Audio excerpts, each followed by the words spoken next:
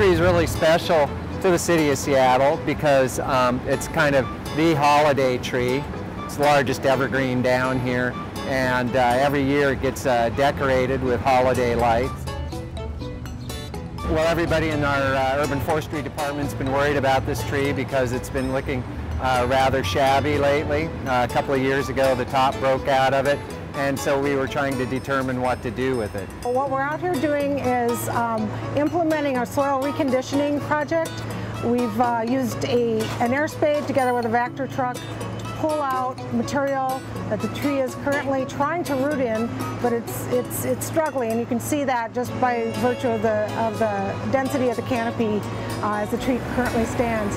We met with James Urban, a noted uh, horticulturist and landscape architect. We had him actually come out and uh, meet with us and talk about what would be a good protocol for, for bringing this tree back to life.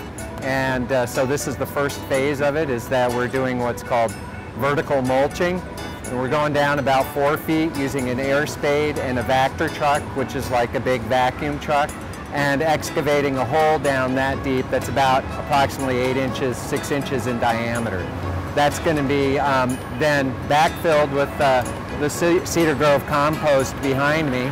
And then the idea is that it's going to open up development for gas exchange, get some more nutrients down in there, get some soil building processes going on deeper in the soil profile and allow um, greater penetration of moisture down there. We went in a couple of years ago and we very thoroughly pruned the tree. We took out all the dead uh, branches and dead foliage and it turns out that that was what was so attractive to the birds because they haven't really favored it since.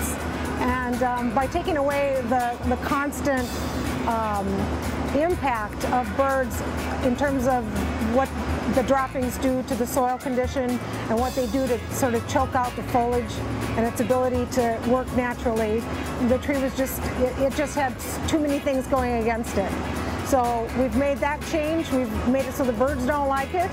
Uh, we made it so that light has a better chance to penetrate and, and get to uh, areas at the base of the tree and, and now with the soil reconditioning we're hoping the tree will fully um, uh, recover, fill out, develop new branches and new foliage and will be able to sustain itself and serve to um, beautify downtown Seattle every winter in particular uh, for many years to come.